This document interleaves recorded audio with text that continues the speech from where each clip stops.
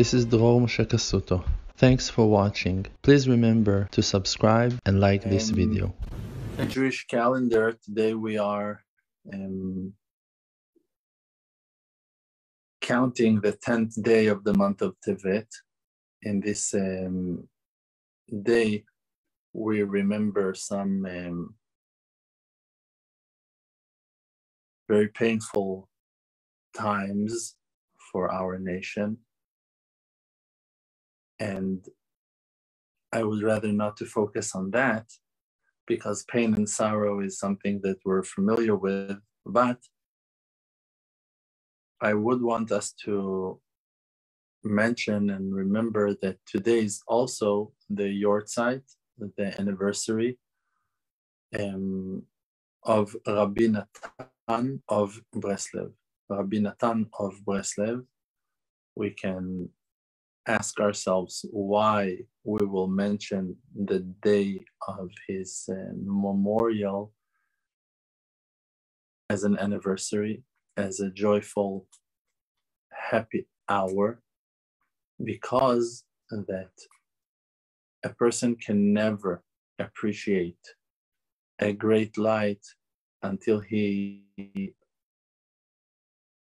feel and experience the loss of that light or a wise person can learn from the darkness that he experienced in the past to appreciate future illuminations that are coming ahead. So the fact that he passed away is a great reminder for us of his holiness of his purity of his greatness, of the great benefits that we gain um, by him, by his merit and by his righteousness and by his holiness and by his dedication to the truth. So I brought this wonderful book that is called Moharanat, The Days of Rabbi Natan. And I will read few parts that are very precious and very important and i will translate. Of course it's written in uh, in hebrew in the holy language lashon kodesh and um, i believe that you will have some understanding from those uh, amazing writings of rabbi natan on his greatness. So in this amazing life story of Rabbi Natan, the main student of Rabbi Nachman of Breslev, um, that was standing to his right in the ups and in the downs, in the difficult hours and in the most blessed and inspiring hours. In his book, he is describing, in the first part of that book on the days of his life, he's describing a great um, attachment, a great connection to that source of inspiration, um, Rabbi Nachman of Breslev himself.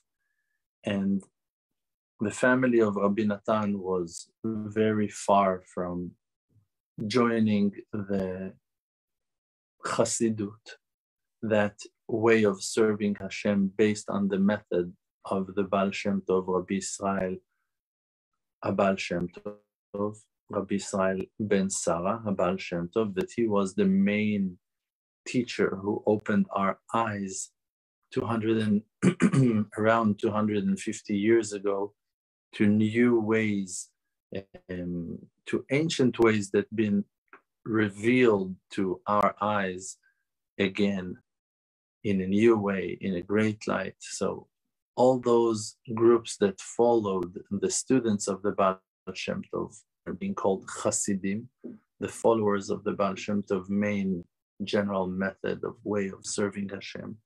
So Breslev is one of the Chassiduyot. So Rabbi Natan wanted to join the Chassiduyot and to learn from the great chief rabbis, the Ademorim of the Chassiduyot of that early generation. Only few years after the Baal Shem Tov passed away, but his family were very, very far from that mindset, and they fought with him and argued with him and had such battles, and for him it was such a challenge to push and to achieve the things that he realized that were the truth, the hardcore of truth, the real true way to connect yourself to Hashem, to become one with Hashem, to serve Hashem in that most beautiful way based on Chassidut. But his family were so against that, and they were trying to do whatever they can to force him not and to walk in that path. But Rabbi Natan was strong and very stubborn on his understanding of what the right thing to do is. And he did not move away for an inch, for a breath of a hair from his main rabbi, Rabbi Nachman of Breslev. So there is a great conversation that I wanted to read to you. And even though that it's coming in a period of time that was very painful for Rabbi Natan, because it is talking about the last hours before Rabbi Nachman of Breslev passed away. But Rabbi Natan was the only one that had the merit to stand in those hours in the last night for the life of Rabbi Nachman of Breslev by his side. And, um, and he's describing something very deep that I think that can be very useful for us to understand. So Rabbi Natan is describing that time in that night. And I was standing on my own alone in front of him in that night. And he looked at me and he saw me with his great eyes and looked at me for very long time. And every time he looked and stared at me, that he was looking at me, his eyesights were like true conversations, like real talking. And I can understand now more and more things now means like one year, two years, 10 years after Rabbi Nachman passed away. And he's still gaining deep understandings from those lookings, from those eyesights of Rabbi Nachman of Breslev.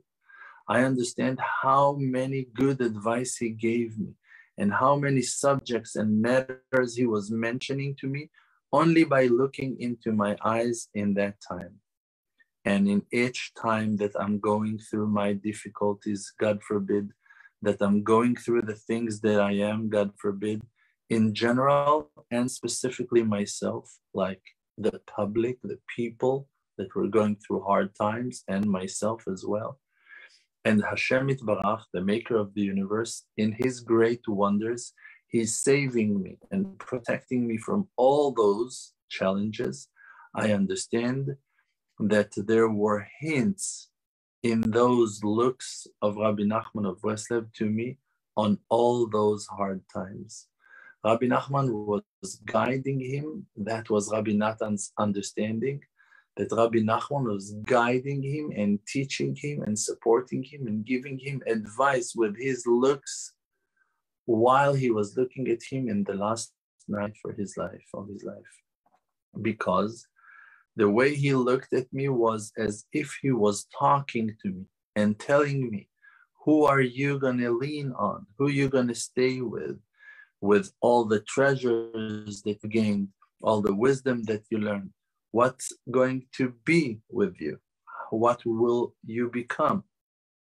Because many will stand against you. And what will a weak person like you going to do? How will he deal? And so and so and more than that, things that maybe even myself I cannot understand fully. All of that was hinted in his looks that he was looking at me a lot with great intention in that night. And every time he looked at me, every time he was staring at me for a long time, you can see that the understandings of Rabbi Natan are based on the fact that he is counting on his own understandings. He is able to believe that his experiences are the truth. Now, again, a person might be wrong when he's thinking to himself that he's right. Many times we can find ourselves arguing on certain things, and in the end of the day, we were wrong, and the one we were arguing with and contradicting him, he was right. So, how will you know? What should a person do for him to have that ability to really count on himself and to know that his inner assumptions and his deeper understandings are the real truth that you can count on, that you can take out great advice from those, that you can count on them to change directions in life, to make big decisions in life. How can you come to that level that you will understand that your inner wisdom is straight and accepted and represents the real voice of Hashem. How can that be? How can a person reach that level? The answer is basically simple. Maybe it demands hard work, but in general, it's a simple, practical advice. You should check yourself and look deep into yourself to see what are your real motives. If your decisions, the way you make your decisions, is still based on fear, on social pressure, or on your desires or lusts, or any kind of uncontrolled feelings like anger, rage, frustration, then you cannot count on your understandings. You can know for sure that there is a mixture of bad and good in your spirit still. But when a person is elevating his emotional body and his spiritual mindset to a higher level that is beyond all those emotional effects, and he is clean in his motives. And the reason why he's doing certain things and all things in his life is coming out of his goodwill and his pure intention, then he can count on his judgment that no matter what he will decide to do will be the right thing to be done. And of course, a person can say, okay, so you know how far I am from that level? there is one advice for that. And the advice is called a daily hitbodedut, a daily conversation with yourself, with your higher self, with your soul, and with Hashem. A daily conversation with the right intention to settle your mind, to stabilize your thoughts, to bring yourself to a place of higher level of awareness, of self awareness, to figure out who you really are and what your mission is, what your life purpose is, and what you need to do, who you really are, and what is your essence. For a person to reach that level, that he will figure that out and he will know who he is, only dedication and true commitment are the tools to achieve that. You need to decide I want to become a person of truth. I don't want to be successful. I don't want to be honored. I don't want to be accepted. I don't want to be all those great things that in the past were the main things that gave me life, that gave me hope. Today, I want to dedicate my life to a higher level, to a greater cause and purpose in my life. And if a person is finding himself that it's not his real level. I can say those things, but really my heart still needs the support and the love and the appreciation, the compliments and honor, respect. What can I do? That is my level. There is no problem with that at all. We were not talking until now about how to become perfect in a second.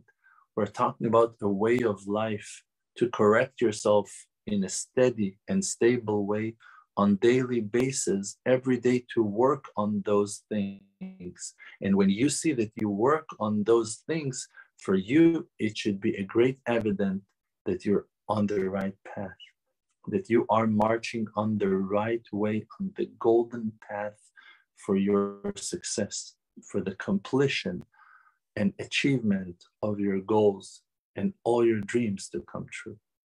And if you go that way and every day you do the same good things that brought you to results until now, like that daily hitbodedut, like that daily conversation with yourself, like that inner connection with your higher self and understanding what your motives are and observing and looking and searching and asking and questioning and confronting your fears and on daily basis asking yourself who and who am i? And what is my pers- purpose? And what am I doing here? And all those questions need to be honestly dealt with and not to be afraid of the answers. And if you feel like, hey man, I'm I'm I'm a coward, I'm so not brave, like I'm so weak in that area, no harm is done, no damage being caused by that. And even if you do look at your past and you feel, but hey, I destroyed this, I ruined that, now you are alive and now is the time for you to correct. And you need to take yourself together and to work on yourself to fix and correct yourself and to improve yourself. And to bring yourself to your success is to walk on a road, is to take yourself to a life journey and not to dream that in one day everything's suddenly going to be perfect. You just need to walk one day at a time, one step at a time, and to do the maximum that you can to come closer and closer to your higher self, to the inner light of your soul, and by that to become one with your Maker, with Hashem Yitbarach. The daily hitbodedut should be in the most simple way of them all, that the person will just talk to the maker of the universe like you talk to your best friend. Rabbi Natan himself, in the beginning of this wonderful book, he's explaining that he had a huge question. He didn't know what to do with. His thoughts were chasing one after the other. He was not able to stop the train of his thoughts ever. And even though that he's testifying on himself that his thoughts were pure, were in holiness, he was still not able to let them rest. He was always thinking and exploring and investigating and brainstorming and trying to figure out things and coming to conclusions. He was not able to rest. And he wanted to be able to let his mind have some peaceful times. And it's an essential thing, very much needed for the perfection of the way the brain function that it will be able to rest. And Rabbi Nathan was not able to stop thinking. And he went to consult with many righteous people of his generation, and none of them was able to give him the right advice. Till one day he spoke with Rabbi Nachman of Breslev after few times that they met, and Rabbi Nachman of Breslev answered his question in the most simple and wonderful and sweet way of them all. And he told him, on anything that bothers you, you can talk about it with Hashem Yitbarach. And that was the answer. Okay, you have issues. Okay, you have problems. Okay, you have things that you don't know how to solve you can talk about any of those with Hashem Yitbarach.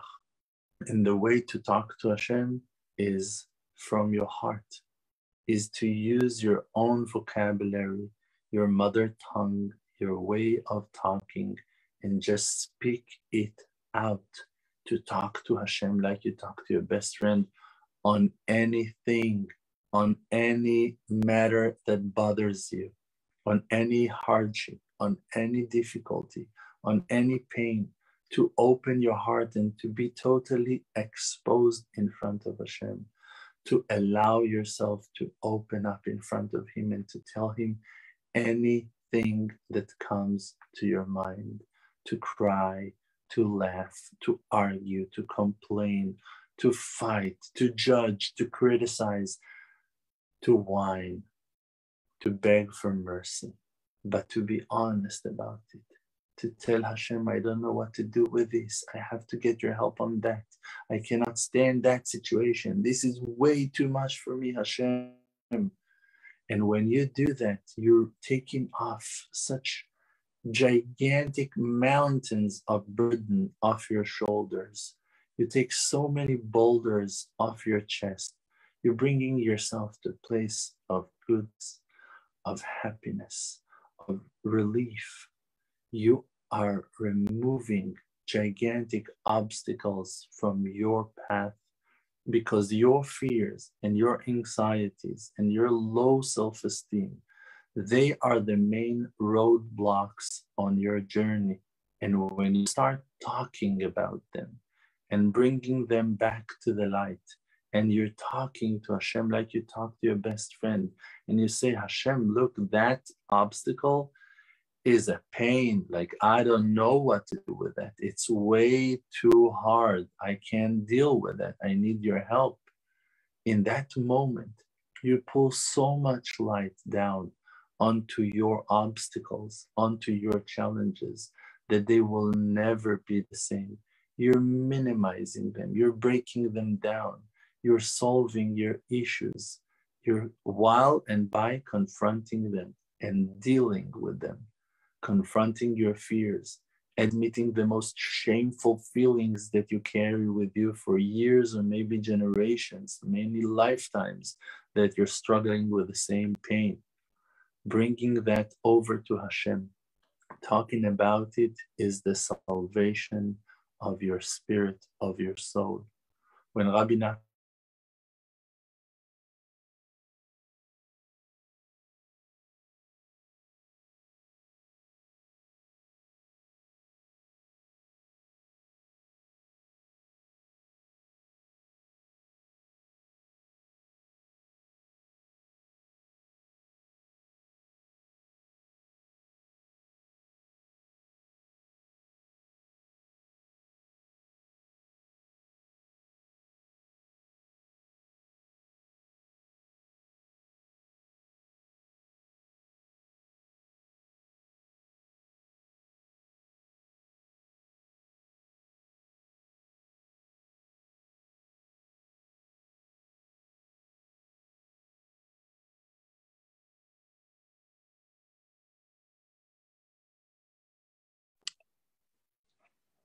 And Rabbi Natan was able to do so and to follow that advice for many, many years.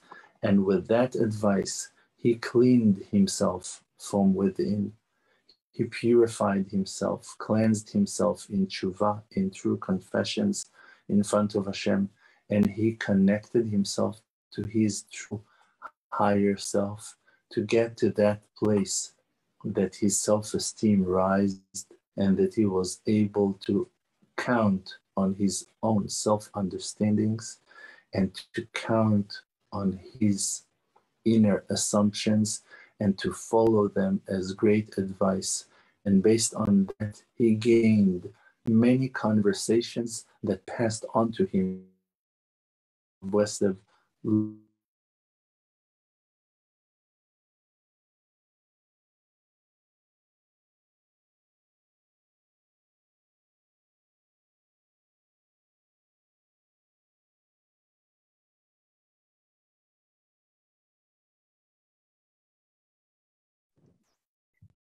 Uh, anyone have signal here? No? Can anyone No, hear me? Yeah, it's something with his internet, so we'll just Oh, give it a second.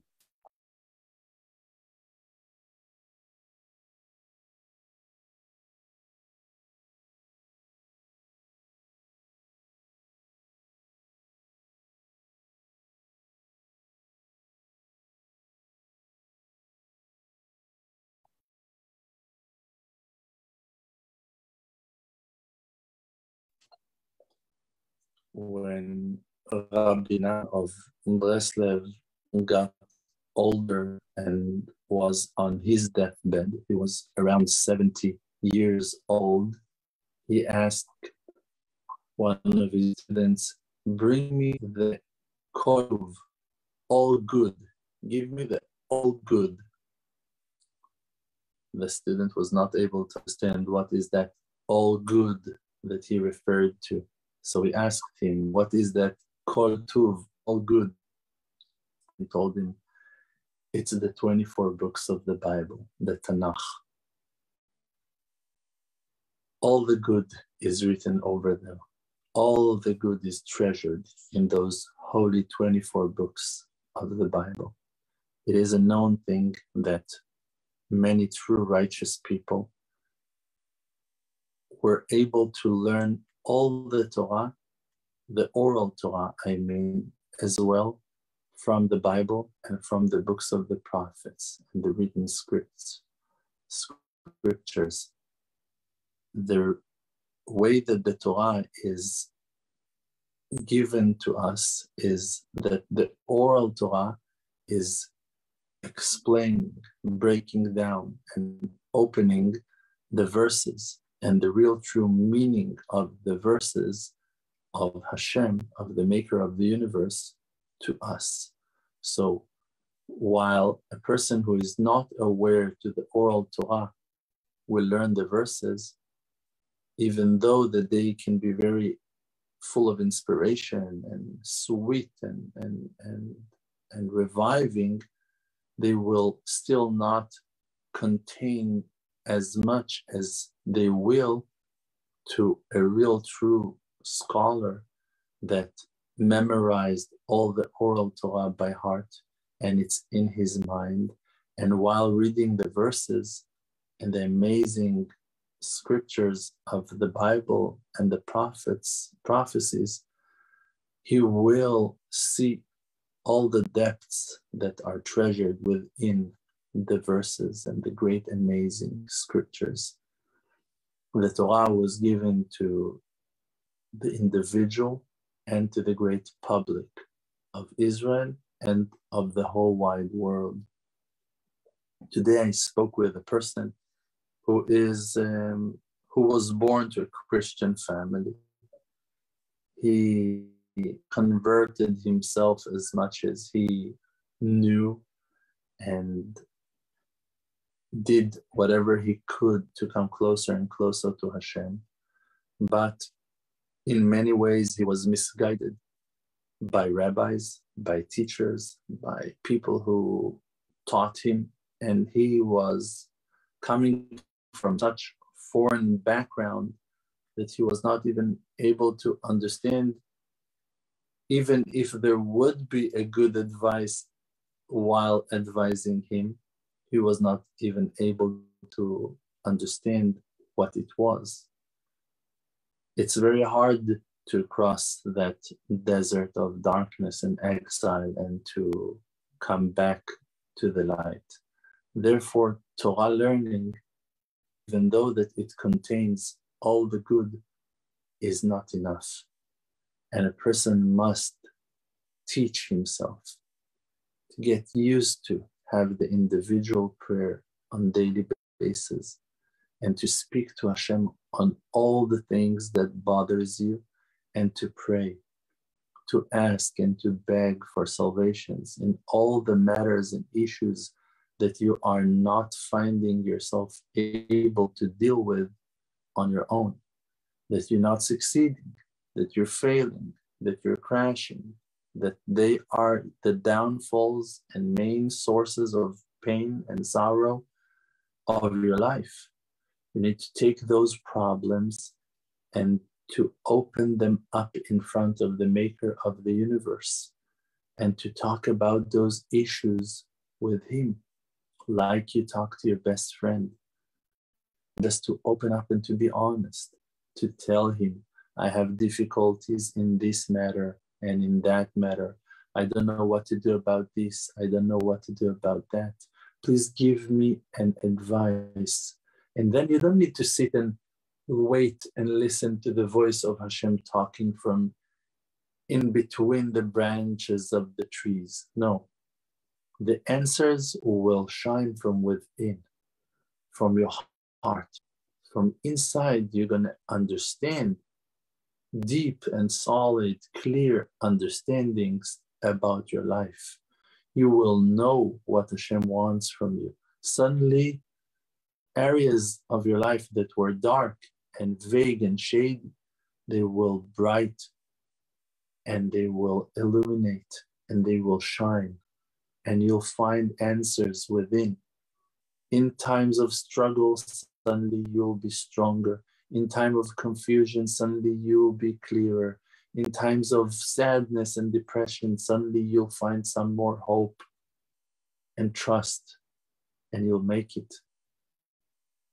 For that, we need to be stubborn, consistent, and focused on what our heart desires. If you want the truth, you shall find it. Just don't let go so fast. Don't give up on your dreams. Just keep on pushing forward by the merit of the true righteous ones. And may their holiness and purity and great holy achievements of lifetimes will shine upon us and will be a source of inspiration for us to succeed in great ways and to be sources of light for our surroundings as well, that we will not leave no one behind and we shall help anyone around us to rise and shine and grow and glow in the light of their own souls. Amen. Can you hear us, son? Thank you.